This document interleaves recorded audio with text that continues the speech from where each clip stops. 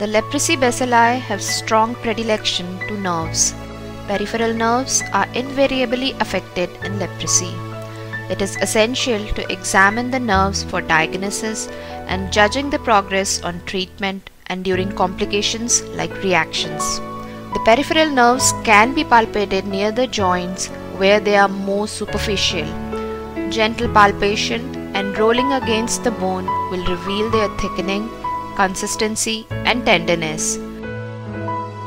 Usually, the normal nerves are hard and feel silky when rolled against bone. Those persons doing hard labor work may have thicker nerves. Hence, compare the finding of both sides. But when affected, they become more thickened in size and become harder like nylon strings. Sometimes you may feel a thin ulnar nerve and ulnar claw present. In such cases, the nerve may be fibrosed. Then it feels thinner but harder. While palpating, tenderness of nerve may be noticed by a sudden painful expression on the face. These changes in the nerves are not uniform throughout the course of leprosy. Therefore, nerves should be traced to the maximum possible extent by your fingertips. Here, it may be normal and a little above there may be swelling. To palpate the ulnar nerve on the left side, try to find this bony prominence. Go behind the prominence, roll against the bone and trace it upwards and you palpate the nerve about its size, tenderness and consistency. Some people try to palpate the ulnar nerve from outer or lateral side. This also can be done and this method is more useful when you compare one side with the other side and simultaneously both the nerves are palpated left and right. From outer side we then try to reach the nerve behind the bony prominence and compare the left to the right. Nerves may be thickened but not damaged as indicated by sensory tests and voluntary muscle tests. If nerves are tender on gentle palpation, the diagnosis of a neuritis is made and the patients need further examination and medication. Allow yourself enough room and time to do the examination properly. The voluntary muscle test or VMT gives an idea about the loss of function of the motor fibers of the nerve. Already in the first few seconds of the consultation, you can estimate the muscle performance.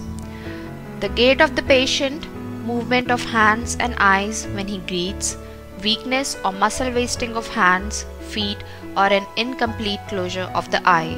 All this will give you a clue to more examine the part in detail. At least four nerves should be examined during the examination of persons affected by leprosy.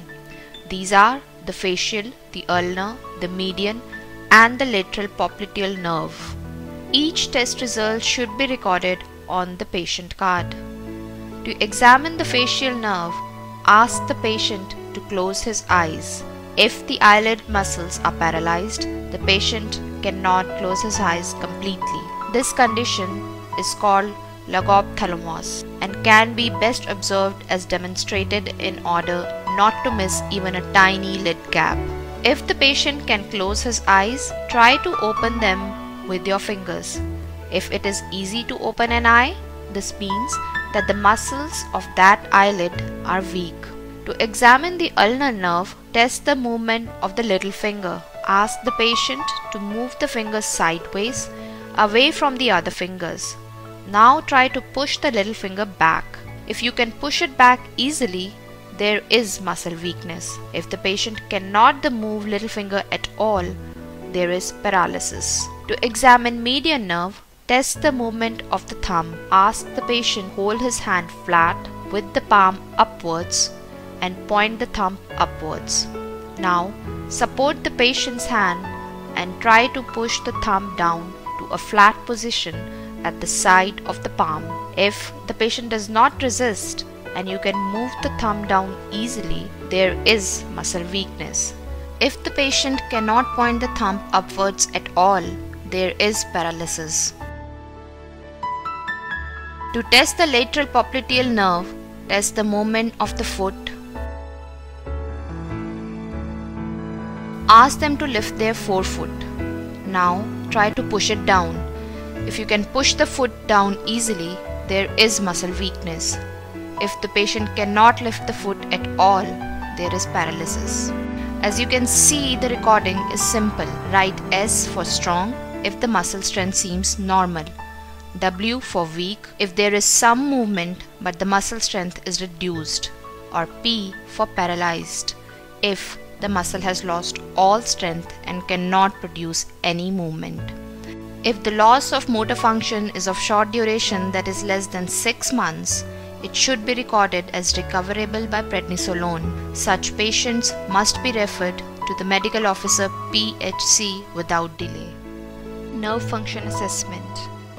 Always remember, examine the nerves on both sides, left and right by palpating, voluntary muscle test and sensory test in its area. Palpate the nerve to know its thickening, consistency and tenderness.